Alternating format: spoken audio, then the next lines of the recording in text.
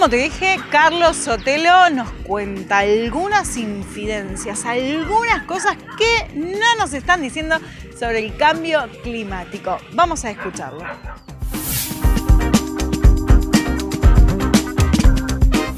Siempre hablamos de los gases de efecto invernadero y la gente es uno de los temas que por suerte tiene bien este, asimilados, digamos, ¿no? Es decir, el calentamiento global, el niño, son temas que la meteorología ha logrado de alguna manera insertar en el consciente colectivo, pero no sabemos si realmente tenemos una idea concreta de cuál es la proporción de cada gas de invernadero, cómo afecta. No es lo mismo el dióxido de carbono, el vapor de agua, bueno, este, los, los óxidos nitrosos. Bueno, si vemos, por ejemplo, los gases de efecto invernadero, tenemos como los más importantes al dióxido de carbono, al metano, a los compuestos halógenos como los CFC, por ejemplo, que vienen, este, o que siempre asociábamos a los aerosoles, el ozono y el óxido nitroso.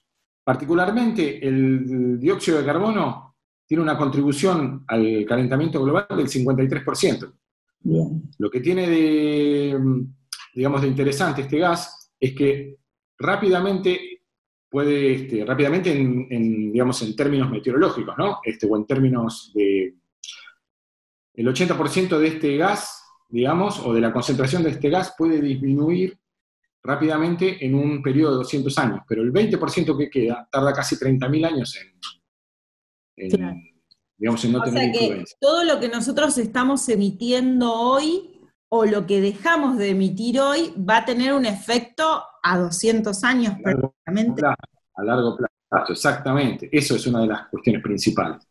Tiene una permanencia atmosférica larga este fenómeno, eh, entonces, ahí es donde radica su importancia también, más allá de que además es el, que contribuye al cambio climático en mayor proporción.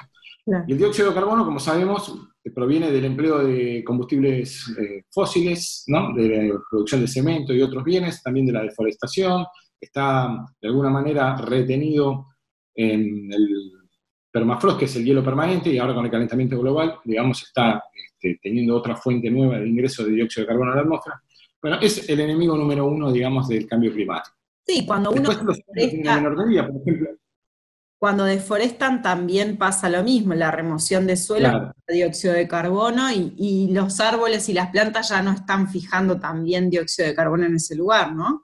Exactamente, el Amazonas, que de alguna manera es el pulmón del planeta y más de, un sexto del, digamos, del aire se recicla en el Amazonas, es el, el punto focal principal sobre el cual debería, deberíamos tener como especie cuidado, y sin embargo es uno de los lugares donde las regulaciones no siempre han ayudado al, combatir el cambio climático. ¿no?